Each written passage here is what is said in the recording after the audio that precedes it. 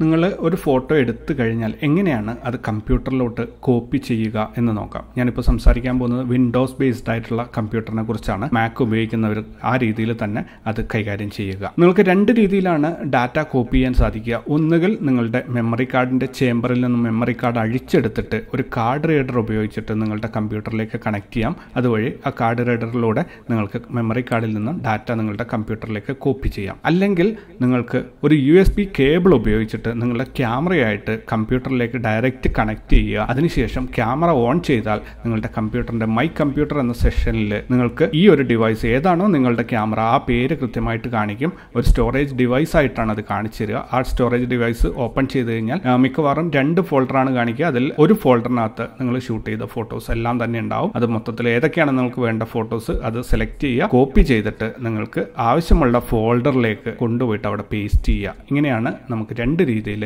Data copy ചെയ്യാൻ സാധിക്കുക. Data copy ചെയ്യുന്ന കാര്യം പറയുമ്പോൾ അതിന്റെ കൂടെ തന്നെ പറയേണ്ട മറ്റൊരു കാര്യമാണ് card formatting. Memory card format ചെയ്യുന്നത് കമ്പ്യൂട്ടറിൽ വെച്ച് ഫോർമാറ്റ് ചെയ്യുന്നതാണോ? അതോ നമ്മുടെ ക്യാമറയിൽ വെച്ച് ഫോർമാറ്റ് ചെയ്യുന്നതാണോ നല്ലത് എന്നൊരു ചോദ്യം സ്വാഭാവികമായിട്ടും വരാറുണ്ട്. പലർക്കും പല പ്രശ്നങ്ങൾ ഫേസ് ചെയ്യാറുണ്ട്.